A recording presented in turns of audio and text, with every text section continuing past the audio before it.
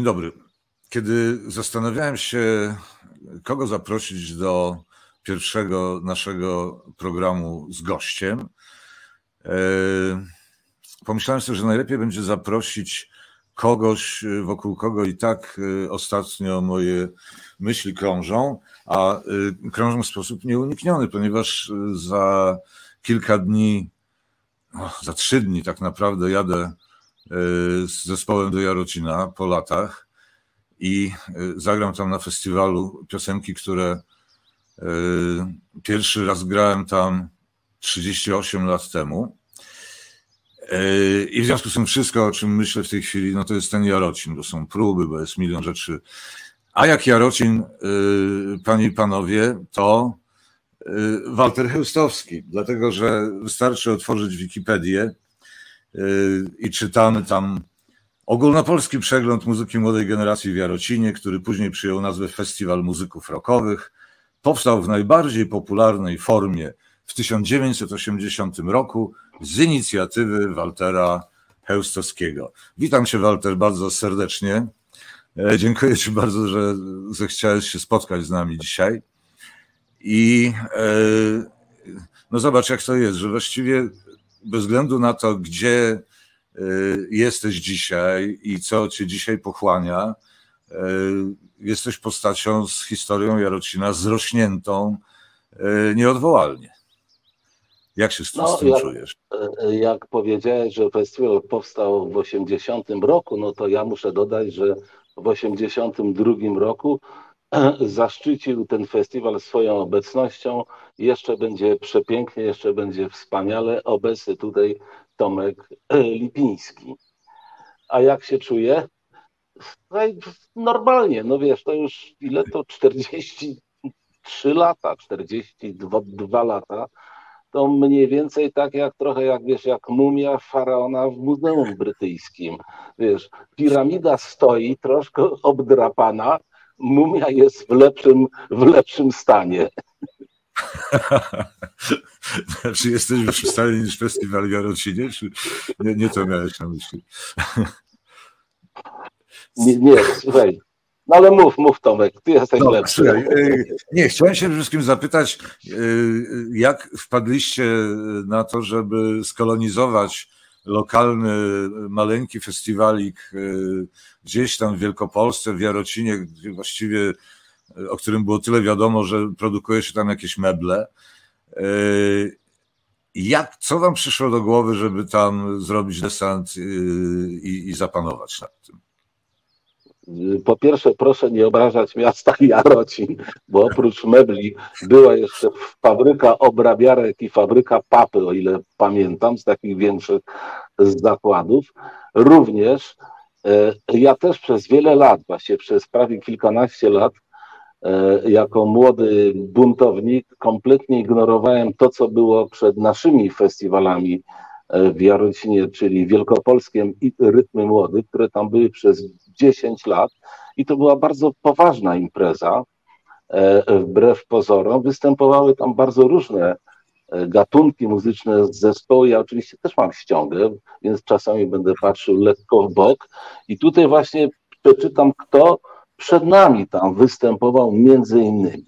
Zespół Stres, który kojarzę. E, zespół Tak, tak, Takt. Hania Banaszek. Kasa Chorych. Tadeusz Nalepa, Wojtek Gąsowski, Marek Grechuta. Więc był to przegląd wielkopolskie rytmy młodych, bardzo, bardzo przyzwoity. No i w pewnym momencie z Jackiem Sylwinem i z przyjaciółmi nie tylko z Sopotu e, robiliśmy ze dwa lata wcześniej koncerty, pierwsze koncerty muzyki młodej generacji e, jako imprezy towarzyszące festiwalowi w Sopocie. E, to się przyjęło. Zrobiliśmy potem ileś już, nie pamiętam, koncertów w całej Polsce pod nazwą Muzyka Młodej Generacji i się nagle okazało, Jarek tam, Jacek e, znał tam kogoś z Poznania, gdzieś coś i się nagle okazało, że możemy zrobić koncert e, podczas wielkopolskich rytmów młodych w Jarocinie.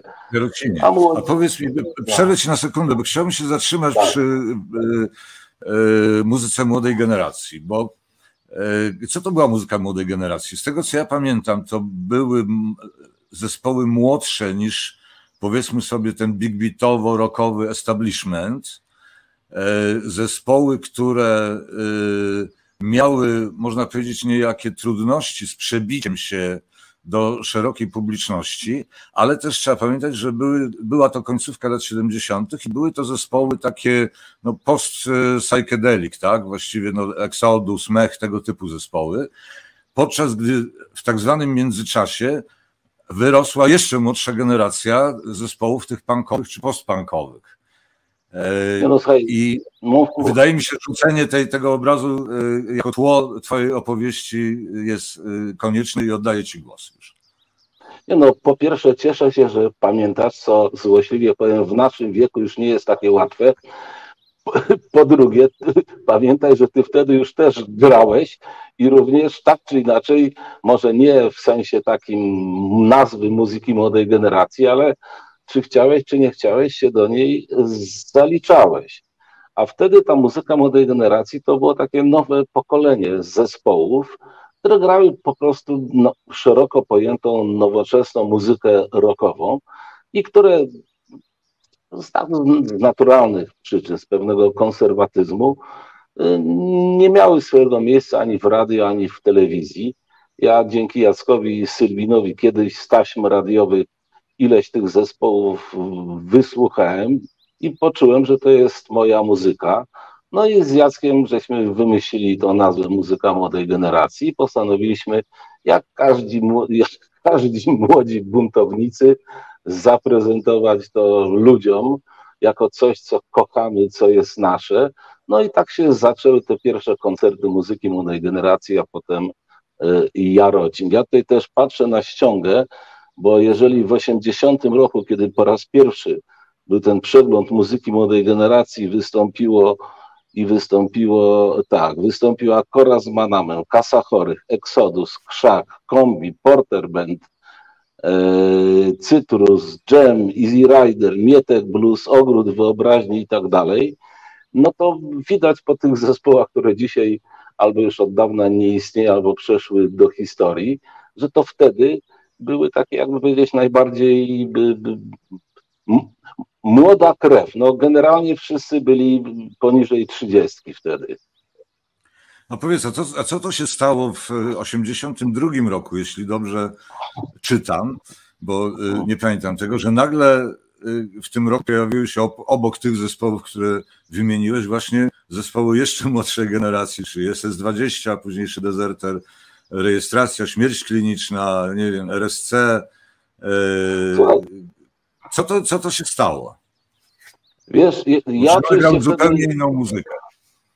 Wiesz, ja wtedy coś tam słyszałem, czytałem o tym brytyjskim punku i pomyślałem sobie, że strasznie chciałbym coś takiego też zobaczyć w Jarocinie i chyba się zgłosili do konkursu czy coś razie bez cienia wahania zaprosiłem pierwszy pankowy zespół, który wystąpił w Jarocinie. Oni się nazywali Nocne Szczury, byli z Władysławowa. Władysławowa, tak.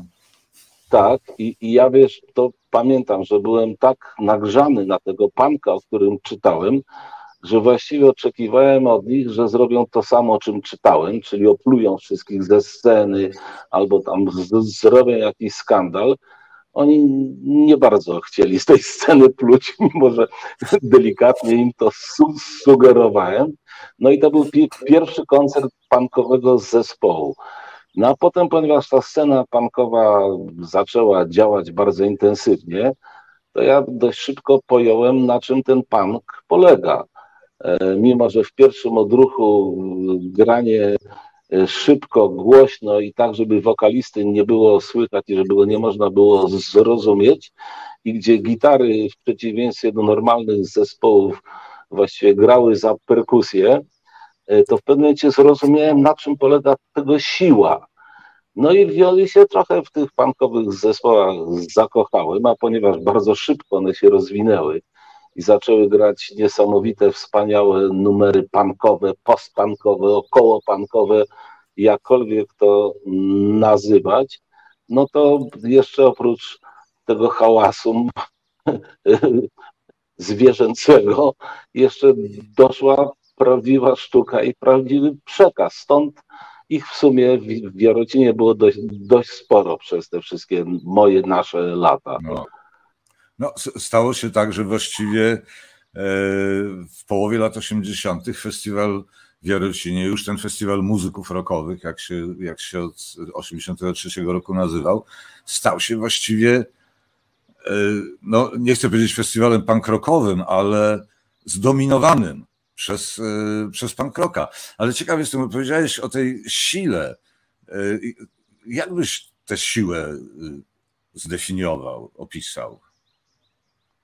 Słuchaj, tego się trochę nie da opisać, bo E, w jakimś sensie to jest tak, jakby chcieć opisać, na czym polega siła rapu czy hip-hopu, prawda? Kiedy w sumie jest to dość podobne, nie muzycznie, ale podobne zjawisko muzyczne, czyli dość prosta, delikatnie mówiąc, historia muzyczna, która się w ogromnej mierze opiera na tekście, prawda? Na tekście i na tym, i na tej najistotniejszej rzeczy, czyli czy ktoś robi to prawdziwie i z serca, czy udaje.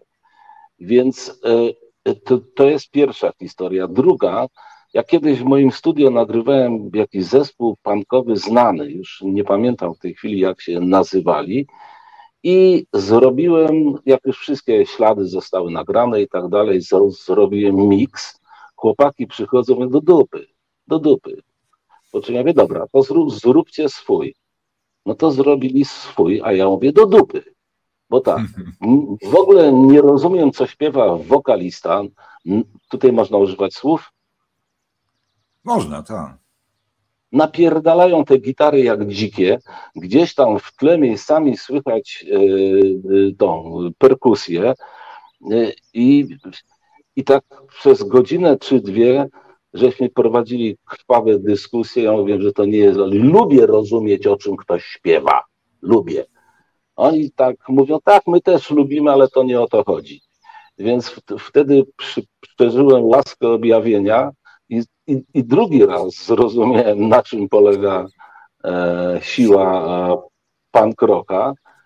I no, no i co? No i od tego czasu, mm, jakby to powiedzieć, mam do nich sympatię i y, bardzo proszę, żeby ktoś pisał y, na YouTubie taką nazwę 100 twarzy grzybiarzy. E, e, pisze się 100 cyframi twarzy grzybiarzy i ja bardzo przepraszam, ale muszę zacytować artystów i e, takie hasło przejebane. I tam jest genialny, genialny klip, który ma już, nie wiem, chyba naście lat, który jest absolutną syntezą punka pod każdym względem, mimo że składa się wyłącznie ze słów powszechnie uznanych za wulgarne czy obelżywe. Ale rozumiem chłopaków i to jest siła, synteza, oprócz tego klip jest super.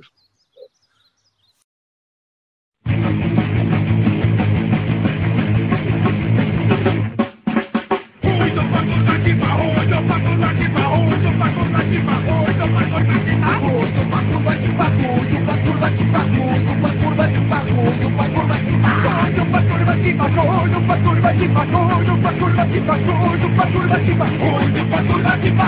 uma curva de barulho, uma curva de barulho, uma curva de barulho.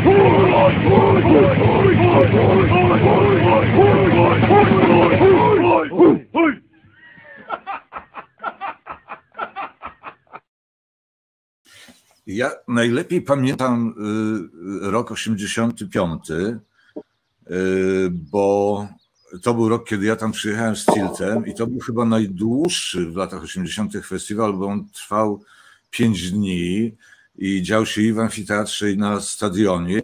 I to była chyba, i to było chyba, to był rok, w którym ta, ten boom rockowy lat 80. chyba osiągnął apogeum. I od tamtego momentu było oczywiście bardzo ciekawie, ale, to, ale wydaje mi się, że ta krzywa troszeczkę zaczęła spadać, bo był też taki rok, który to był 86 czy 7, że podzielono publiczność płotem na, czy, czy jakąś taką barierą na, e, na, na dwa oddziały. Jeden oddział punkowy i jeden oddział metalowy bodajże. Co to się działo tam wtedy? O co to chodzi? Y, zacznę od tego historycznego płotu. Mianowicie e, w tych latach 84-86, czyli naj, najfajniejszych latach festiwalu, kiedy y, po prostu no, była tam sztuka i iskry w powietrzu, w Jarocinie była dość spora reprezentacja punków i skinów. A 20 tysięcy osób, gdzieś jakieś było 500 600 punków, trochę skinów, e, czyli statystycznie niewiele, ale ponieważ byli bardzo widoczni, chociażby ze względu na e, strój i tak dalej, e, to ten festiwal również dzięki temu zaczął być kojarzony głównie z punkiem. Ale było coś takiego, co się nazywa pogo. Jeżeli ktoś nie wie, co to jest pogo i nigdy tego nie widział, to można to trochę porównać do ustawki kiboli piłkarskich, gdzie się nawzajem spotykają i leją. Pogo polegało na tym, że podczas koncertu w środku tłumu 100, 200, 300 osób zaczyna skakać i nawzajem na siebie świadomie przepychać się i wpadać się, po prostu odbijają, tak jak hokeiści. To wygląda jak bójka, ale z bójką nie ma nic wspólnego. Ale jak panki zaczynają to pogo, to wszyscy ludzie przed sceną się rozstępują, robi się taki okrąg duży, nie wiem, 40 metrów, 50, nie mierzyłem, i reszta nie ma tam wstępu. No oczywiście oni z tego pogo wychodzą, delikatnie mówiąc, w stanie zachęcającym do prysznica, co się zwykle nie zdarza. No i, i ja miałem z tym pewien problem, bo normalni ludzie, normalni, no publiczność nasza, wtedy się trochę bała, bo nie każdy wiedział o co chodzi, więc sobie wymyśliłem, kompletny idiotyzm, że postawię prostopadle do sceny taką metalową, solidną barierę wkopaną w ziemię i przez mikrofon prowadząc koncerty będę ogłaszał. Po prawej panki, po lewej reszta. Pomysł był świetny, całkowicie się nie sprawdził. Wszyscy to kompletnie olali ale ponieważ ta bariera była zrobiona z solidnych, zespawanych rur, jeszcze wkopana w ziemię, to już nie pamiętam, czy stała dzień, czy dwa, czy do końca festiwalu. W każdym razie przeszła do legendy i, i człowiek uczy się na sukcesach i na błędach. Więc to w sprawie bariery tak było. Często, często mnie przynajmniej pytają ludzie o no bo to taki temat, powiedzmy, e, ciekawy dla e, współczesnych ludzi, którzy nie pamiętają tamtych czasów, o cenzurę. O to, na ile e, ten PRL swoim tchnieniem owiewał festiwal. Oczywiście w, ekstremalnej, w ekstremalnych opowieściach mówi się o tym, jak to towarzysze z premedytacją wymyślili festiwal po to, żeby skanalizować bunt młodzieży i tak dalej, i tak dalej. Y, mnie się wydaje, że oni po prostu raczej, że to im przeszło pod radarem, że oni się nie zorientowali, a później już było za późno. Jak, to, jak ty to widzisz?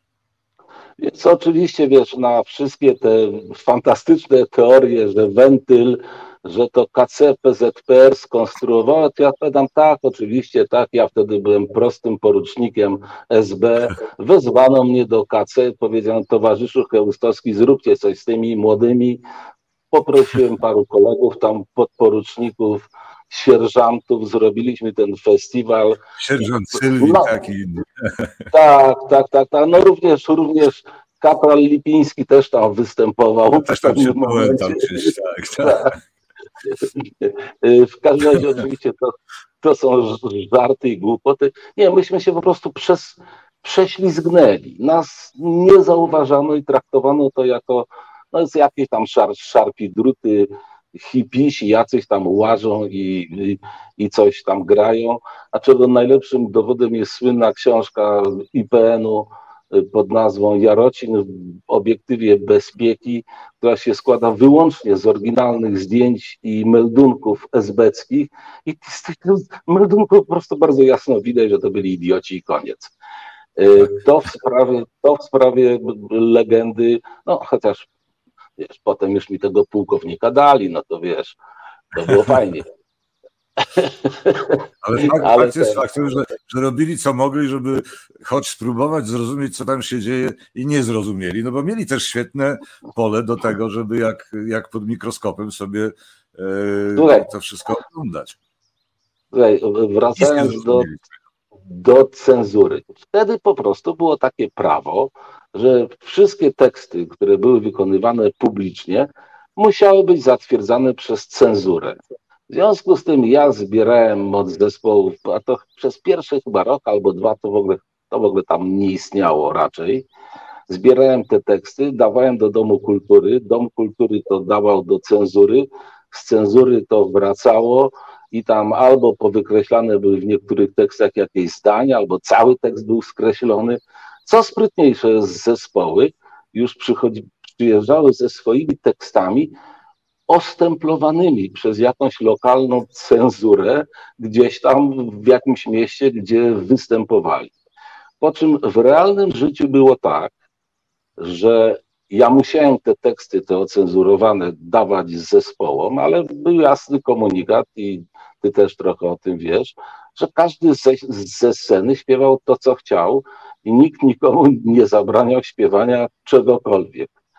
A przez ostatni rok, kiedy robiłem, czyli chyba 85-86 w starym ustroju, to tam przyjeżdżało dwóch cenzorów na miejsce. Tak, I oni siedzieli w mieszkali- hotelu Jarota. Tak, który jest 150 metrów od sceny i wszystko w nim genialnie słychać.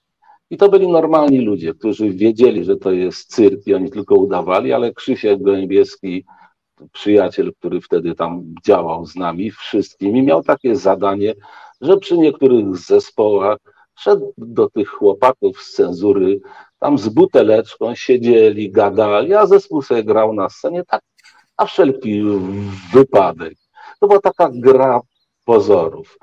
Y, Parę zespołów, e, pamiętam, że w tych fragmentach tekstów, chyba nawet dzieci kapitana Klosa, które cenzura im zakwestionowała, to żeby właśnie pokazać, że mieli ingerencję cenzury, to chyba gwizdali w tych miejscach zamiast tekstów. Tak jak Ma- Marek Niedźwiecki kiedyś puszczał e, w liście przebojów w dawnej trójce perkusję. Manamu, jak tak, jak Be- werbel Manamu, jak nie wolno było mu grać Manamu, więc to podobna historia była.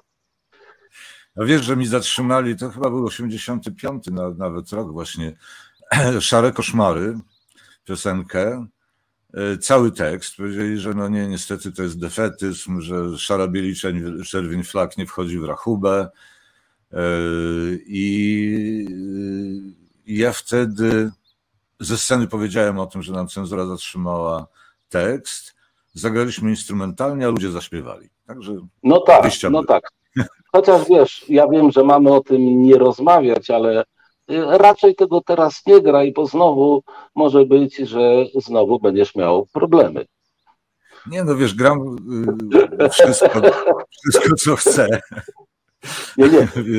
Ob, ob, ob, obiecałem ci, że i się nie będę mówił i się nie będę tego trzymał.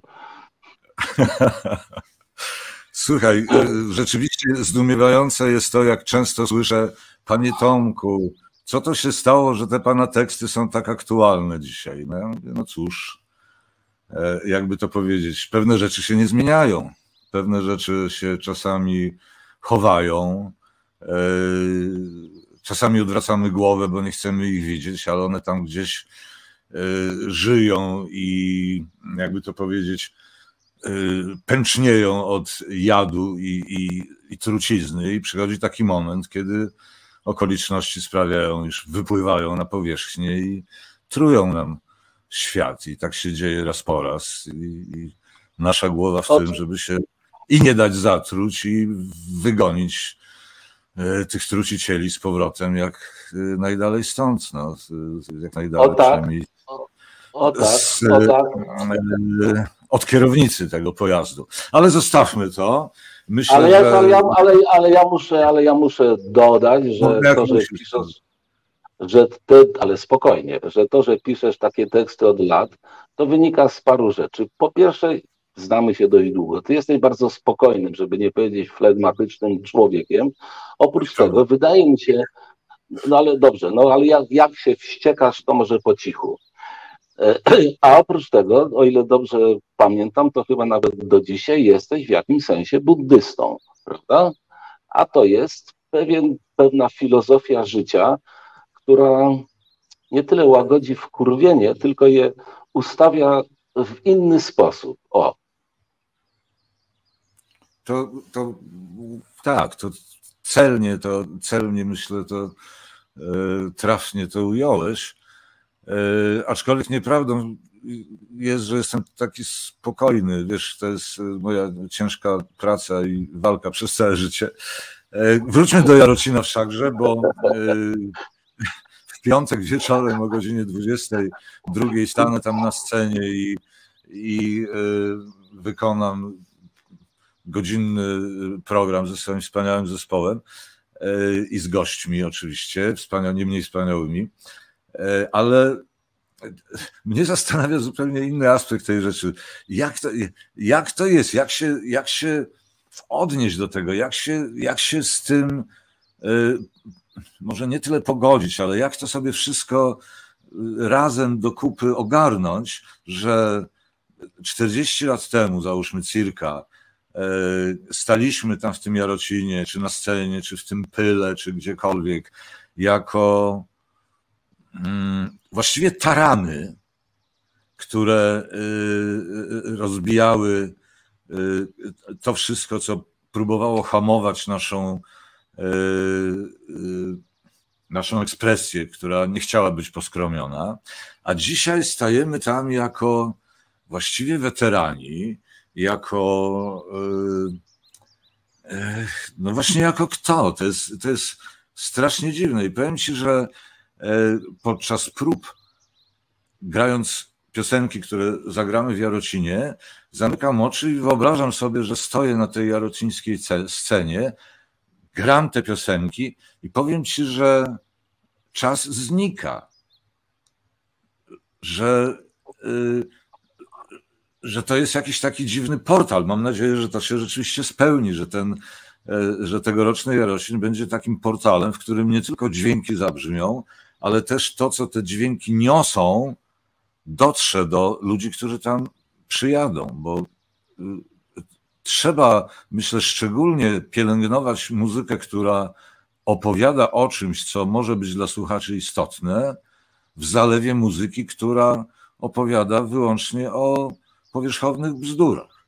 Jak, jak ty to widzisz? Słuchaj, to jest kilka rzeczy, wiesz. Pierwsza rzecz to jest taka, że prawdziwa sztuka się zawsze obroni. I ta bardziej wrażliwa, inteligentna część publiczności i nawet wbrew pozorom, duża część tej pozornie nieinteligentnej publiczności, która słucha badziewia, reagują na, na, na, na prawdę. Naprawdę w sposobie wykonania. To się czuje. To, tego się nie da opisać. To jest tak jak z obrazem. Dlaczego jeden ci się podoba, a drugi nie. No, a oba są kolorowe. Y, Re, reaguje na prawdę sztuki, na y, autentyczność przekazu, na teksty. Również jest coś takiego, że trzeba widzom, słuchaczom dać pole do wyobraźni. Jak ja powiem, y, w drzwiach stanęła piękna blondynka, to każdy ma przed oczami inny obraz. Jakbym powiedział 1,64 m, włosy do pasa, czarne leginsy, to koniec, to koniec, koniec, koniec. To tak nie ma. Zabijasz. jeszcze, Tak, i, i dlatego jeszcze będzie y, przepięknie, jeszcze będzie wspaniale, to każdy ma przed sobą swój obraz, który sam sobie buduje w głowie swoich marzeń i tak dalej. Czasami jest to miłość, czasami jest to polityka, e, czasami jest to szkoła, a czasami jest to i i jakkolwiek opresyjna sytuacja, czy wtedy, czy dzisiaj, w kraju dla tych, dla tych wrażliwych. Jest jeszcze jedna rzecz, cholernie ważna. Otóż zwykle do historii przechodzą ci artyści, którzy są skromni, którzy mają taką wewnętrzną skromność i nie czują potrzeby pod, podlizywania się ludziom.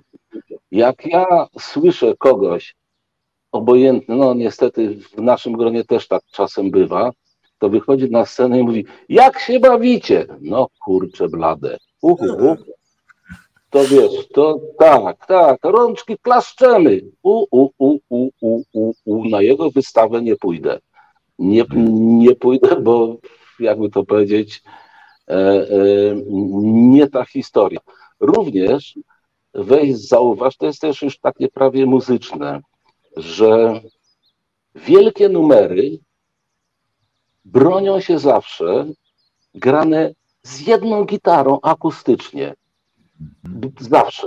A Badziewie w ten sposób, za wyjątkiem oczywiście dużej ilości wody, nie istnieje. A co myślisz o takich głosach, które mówią, że artyści nie powinni zajmować się polityką, tak? Że artysta jest od tego, żeby być artystą, a politykę niech zostawi mądrzejszym. To jest absolutna bzdura. Ja uważam, że artyści mają obowiązek e, zajmowania się polityką i mam ogromny żal i pretensje do wielu dzisiejszych artystów, którzy tego po prostu nie robią. To jest dla mnie koszmar. No nie można żyć e, obok tego, co się dzieje dookoła. To się nie daje. Każda, każda wielka sztuka powstała z buntu, z cierpienia, często ze smutku i tak dalej, i tak dalej. Y, y, Więc y, artyści nie powinni się angażować w politykę. No to proszę bardzo, to niech ktoś sobie chodzi do cyrku na występy tresowanych niedźwiedzi. Niedźwiedzie się z polityką nigdy nie będą zajmować, przepraszam, kurczę, przecież to Rosja, niedźwiedzie.